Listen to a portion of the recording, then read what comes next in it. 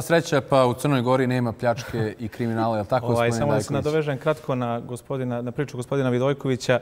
Martin Luther King je rekao da, u, da istorija neće zabilježiti u vremenu najvećih socijalnih nepravdi činjenja loših ljudi, nego apatičnu tišinu dobrih. I mislim da je to najveći problem generalno, a pogotovo u Crnoj Gori. Dakle, ljudi ćute. Evo, zamislite dva pokazatelja kako je stanje svijesti u Crnoj Gori.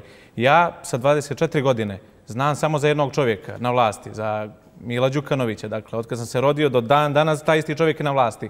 A moja baba, koja ima 75 godina, zna samo za Tita i Mila Đukanovića. Dakle, mi u zadnjih 75 godina nismo imali demokratsku smjenu vlasti.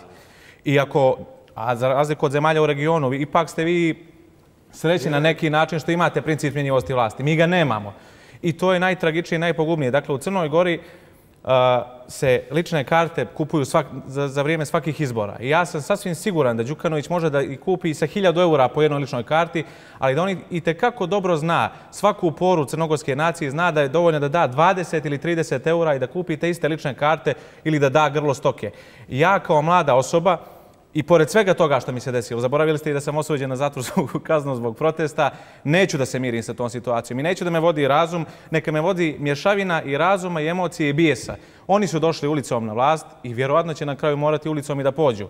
Dakle, ja sa tim stanjem neću da se mirim i neću da idem u nestranstvo, da živim, da dišem tuđi vazduh, da mi sestre se udaju, da mi majka, ovaj, ne daj Bože, umre u Crnoj Gori, neću da se mirim sa tim stanjima, da se borim za svoje pače neba, jer mi ga niko nije poklonio, nego su mi se moji džedovi krvavo, krvavo borili za njega.